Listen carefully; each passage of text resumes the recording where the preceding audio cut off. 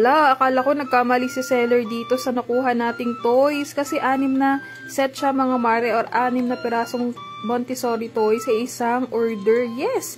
Kasi pag nanonood ako ng ibang live, sobrang mahal individual nito pag binili mo. And nakikita mo nyo naman yung quality niya. Same lang, wood din siya. And napakaganda. Ayan, tingnan nyo naman. Naka-plastic siya individually. And ito yung pinaka-favorite ko.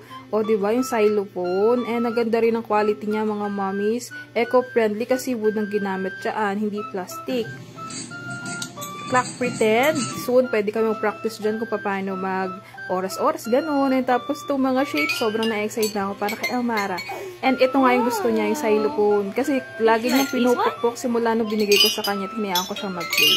And ito lang yung ma-advise ko sa mga mommies. Huwag natin i-compare yung development or yung achievements ng anak natin sa ibang mga babies. Kasi iba-iba naman sila. As long as nag enjoy sila, tapos nagkakaroon kayo ng bonding, yun yung mas importante. And yung mga ganitong Montessori toy, nabasa ko na nakaka-develop talaga ng eye and hand um, coordination, lalo na yung ganitong edad na 14 months, nag-start na talaga silang mag-explore. Tapos, um, very, ano na rin sila, mga Mars, very curious na rin sila sa mga bagay-bagay. Kaya natuto ako kay Amara kasi yan, ine-explore niya na yung mga toys niya at the same time, naiiwas pa siya sa TV or gadgets. And ang ganda ng quality nito. Ayan, minsan sinusubo-subo niya o kaya naman inaamoy-amoy niya yung mga laruan niya.